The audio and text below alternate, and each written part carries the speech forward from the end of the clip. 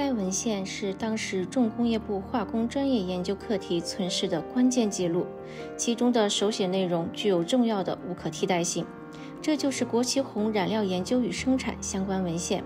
记载了新中国染料工业的开创性工作。从此，五星红旗有了完全国产的专用染料。国旗红染料的研究与生产是新中国成立初期针对国产染料无法满足国旗不褪色需求的现状，为打破红色染料的中间体及原料全部依赖进口的局面而专门设立的工程项目。在百废待兴、生活条件艰苦的情况下，要进行科研与化工生产已是殊为艰难，更何况人员、药品、设备都要想尽一切办法筹集。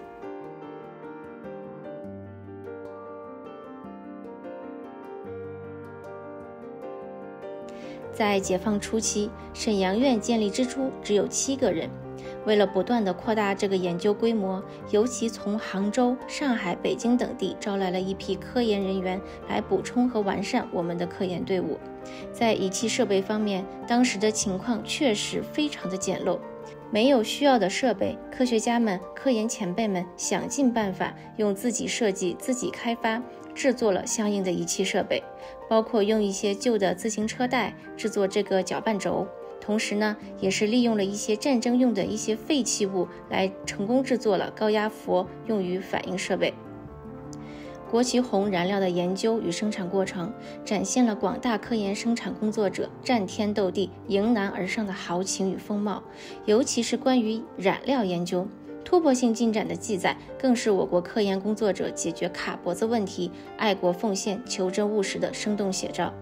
虽然这个国旗红染料呢不是世界首创，但是呢，它体现了一种我们自己独立自主的这样的一个重要的意义。五星红旗有了我们自己国产的专用染料国旗红，也彻底打破了我国染料中间体以及高端染料依赖进口的这样一个局面，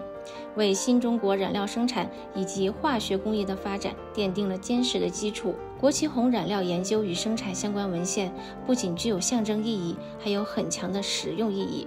由于生产过程中每个化学反应都是自成体系的，